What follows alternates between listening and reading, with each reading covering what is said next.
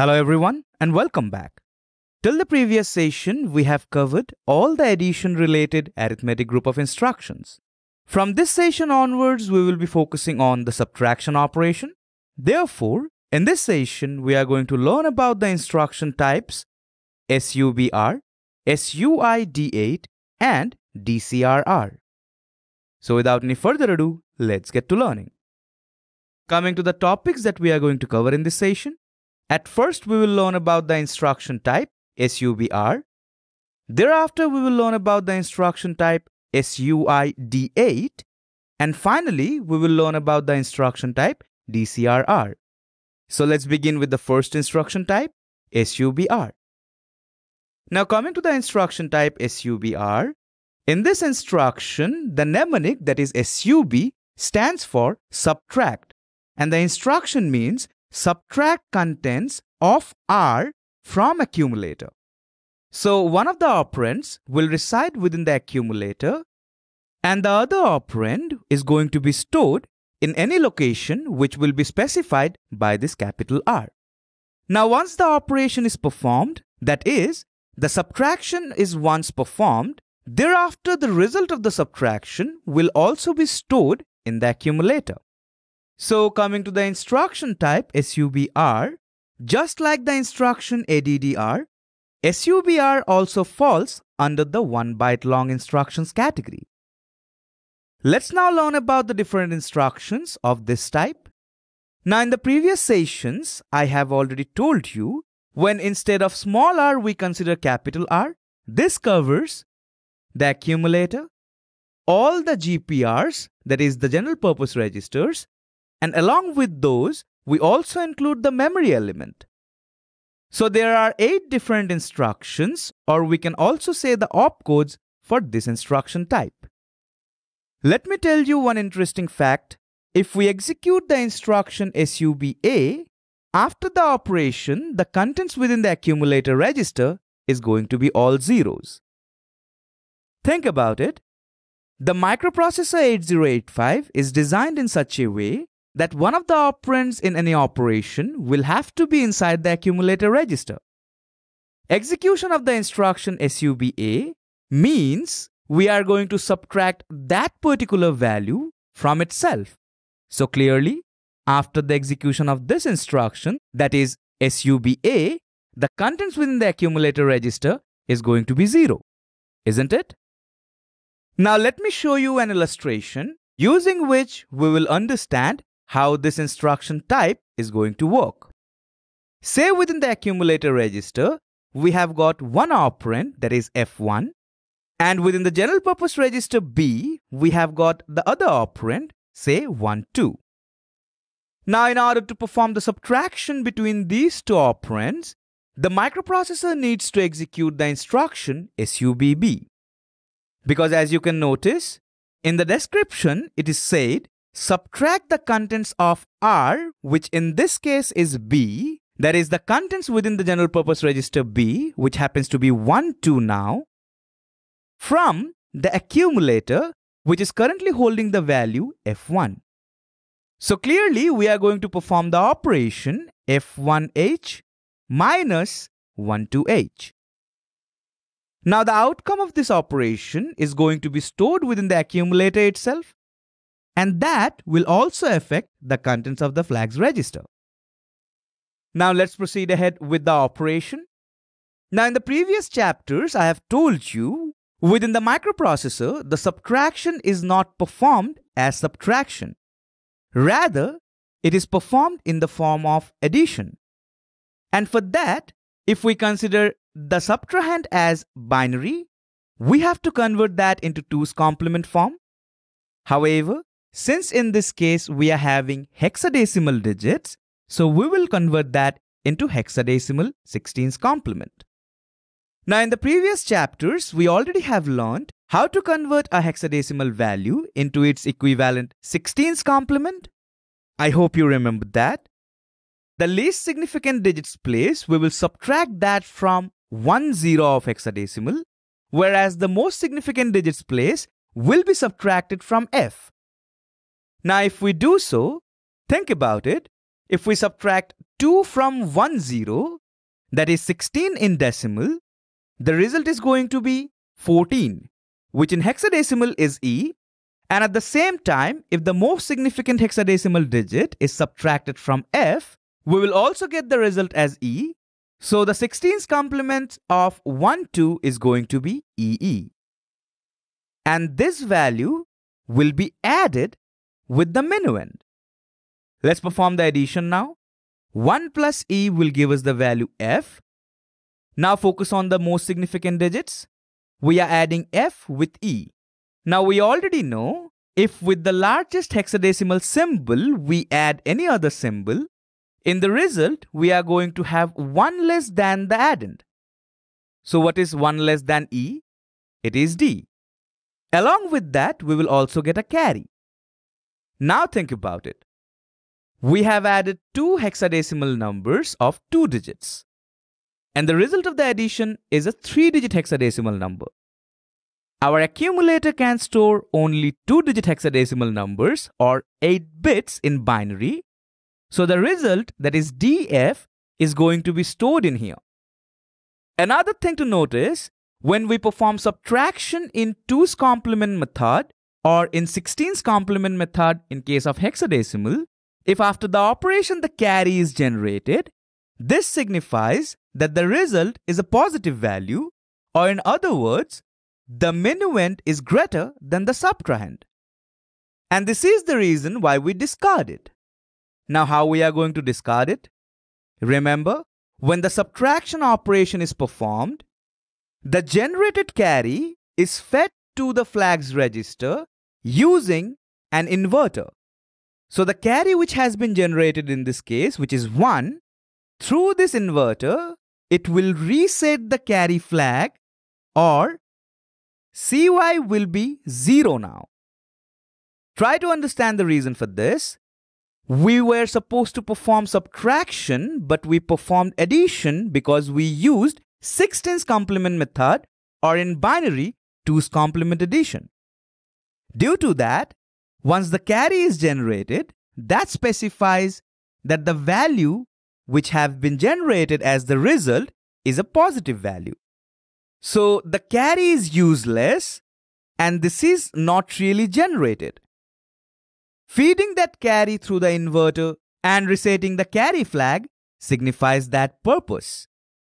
Now notice, the accumulator already has got the result, that is DF, and the entire operation is supposed to affect all the different flags within the flags register. So let us now find out all the different status of the flags. If we focus on the accumulator's content, it is DF. D is 13 in decimal, which in binary is 1101. So we are getting three ones from D. Now what about F? Hexadecimal F in binary means 4 ones. So 3 ones plus 4 ones. Cumulatively, we have got 7 ones within the accumulator register. Now 7 is an odd number. And the parity flag is to be set when the accumulator has even number of ones. So in this case, the parity flag will be reset. Let's now check out the auxiliary carry. Well, as you can notice, while we were performing the addition, there were no carry generated from the least significant digits place. So, in case of auxiliary carry, this flag will also be reset. Now what about the Z flag? Within the accumulator, do we have all zeros? No, right? So the Z flag will also be reset. Let's now check the sign flag. Coming to the most significant digit, that is D, in binary, it is 1101. So clearly, within the accumulator, the most significant bit is 1. Therefore, the sign bit will be set. But don't worry, the sign flag being set doesn't really mean anything in here because this will be ignored as I told you earlier when we were discussing about the session subtraction in hexadecimal. Since the carry is already 0, it will specify that the content within the accumulator register is a positive value. So this is how the microprocessor is going to execute the SUBB instruction if within the accumulator at first we have F1 and within the B register we have 1, 2. By the end of the operation, within the accumulator register, the result that is DF is to be stored. Like we mentioned earlier that the result of the subtraction will also be stored inside the accumulator. And based on the content of the accumulator, all the different flags within the flags register are going to be affected. Do remember, in case of SUBR, there are 8 different instructions and this instruction type falls under the 1 byte long instructions category. So that was all about the instruction type SUBR. Let's now learn about the instruction type SUID8. Now coming to the instruction type SUID8, here the mnemonic SUI means subtract immediate from accumulator. Now what to subtract? We are supposed to subtract D8 that is the data of 8-bit which is being sent to the microprocessor in immediate addressing mode. So clearly, one operand will reside inside the accumulator register and the other operand we will be sending via the instruction itself. And this is why this instruction falls under the immediate addressing mode. Now think about it. The previous instruction that is SUBR, it falls under the 1 byte long instructions category. Will it be same for SUID8? Well, it will not. And the reason is, SUI, this mnemonic will need 8 bits, and we are also sending 8 bits of data. So cumulatively, this entire instruction will fall under the 2 byte long instructions category. Now, since we are sending the data of 8 bits in immediate addressing mode, and we already know one operand will already be inside the accumulator. So for this instruction type, there is only a single instruction. Let me now illustrate how this instruction will work. Now coming to the operands, we are going to use the operands that we used in the previous example itself. So following that, say within the accumulator register, we have got the operand F1 and now we are trying to execute the instruction SUI12H. So this time we are sending the subtrahend 1 to h via the instruction itself. So clearly we are going to perform this operation. But the difference with the previous case is, in the previous example, we stored the subtrahend within the B register, but this time we are sending it in immediate addressing mode. Now this operation too will affect all the flags within the flags register, but do remember here also we are not going to perform subtraction. We will be performing addition with EE. Because EE is the 16th complement of 1, 2. So if we add 1 with E, as we have seen earlier, the result will be F. And adding F with E, we will have the result 1D. Now we already know the least significant two digits of this hexadecimal outcome will be treated as the result so it will be stored inside the accumulator and the carry which was generated, it is also going to be fed to the carry flag via the inverter or in simple terms, the NOT gate. So the carry is going to be reset. Parity flag, as we discussed earlier within the accumulator, since we are taking the same example, we still have 7 ones. So that's an odd number, so the parity flag will be reset. Since we didn't acquire any carry from the least significant two digits, so the auxiliary carry will also be reset. The accumulator's content is DF, not all zeros, so 0 flag or the Z flag will also be reset, but the sign flag will be set since D means 1101 in binary and that makes the most significant bit within the accumulator 1. So the sign flag is set, but it will be ignored because since we are performing subtraction, carry being 0 will specify that the result is a positive value. So do remember, SUID8, this instruction falls under the 2 byte long instructions category and there is only a single instruction of this type. Through this instruction, we are sending the subtrahend in immediate addressing mode. So that is all about the instruction type SUID8. Let's now focus on the last instruction type of this session, that is DCRR. Coming to the instruction type DCRR, it stands for decrement the contents of R. So we are going to consider the accumulator and all the GPRs. Along with them, the memory element which will be pointed by the HL register pair. Now in case of DCRR, similar to the instruction type which we have learnt in the earlier sessions that is INRR, here also all flags except CY flag that is the carry flag are affected depending on the result. Now coming to the instruction type DCRR, this too falls under the category of 1 byte long instructions. Now let me show you how this is going to work. Say within the accumulator register, we have got the value 03. Now if the microprocessor executes the instruction DCRA, this will decrement the value within the accumulator register, making it 02H. So clearly, this instruction will subtract 1 from the contents which were previously inside the accumulator register. Let's now talk about the different variations of DCRR. As I mentioned earlier, we will have DCRA, DCRB, DCRC till DCRL, and along with these, we will also have DCRM. Now let me show you how the DCRM instruction is going to work. Say within the memory location F820, we have got the value FF. Now this is in hexadecimal, but you already know FF in binary is all ones. Now if we want to decrement this value, at first within the HL register pair, we will have to load the address F820. And by doing this, the microprocessor will know that within the memory, the location F820 is now being pointed. Now if we execute the instruction DCRM, notice this instruction also falls under the register indirect category because within the instruction itself, we never mentioned anything directly about the HL register pair. However, it was indirectly mentioned due to the presence of this M.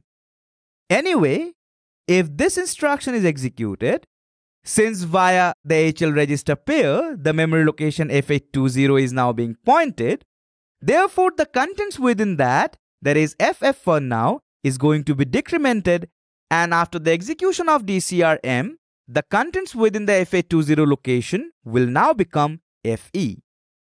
So using this instruction, we can also decrement the contents within the memory location.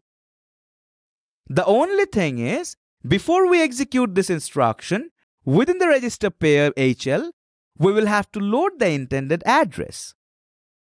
So that is all about the DCRR instruction type.